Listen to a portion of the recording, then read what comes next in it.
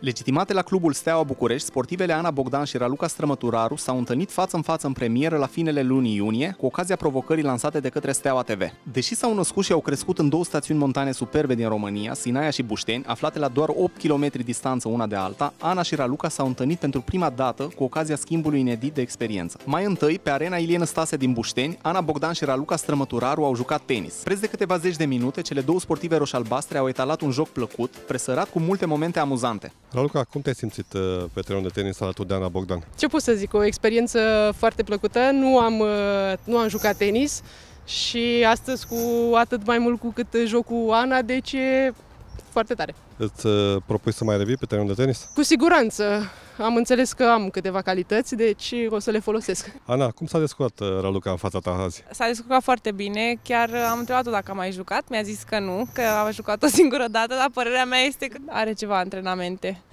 deși n-a vrut să recunoască. Ai remarcat ceva calități la ea? Fiind un sportiv de performanță, cu siguranță are multe calități. A prins imediat mișcările și uh, chiar și deplasarea în teren, pot să spun că e foarte bună.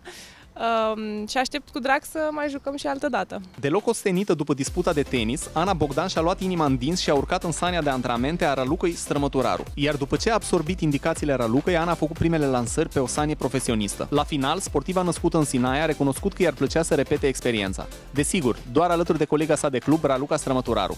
Ana, cum a fost prima ta experiență pe o sanie profesionistă? Am avut un pic de emoții la început, uh, dar uh, noroc cu Raluca care mi-a explicat foarte frumos și foarte bine ce am de făcut. Uh, mi se părea că chiar și pe panta asta, oricât de micuț ar fi, tot ar fi un pic periculos.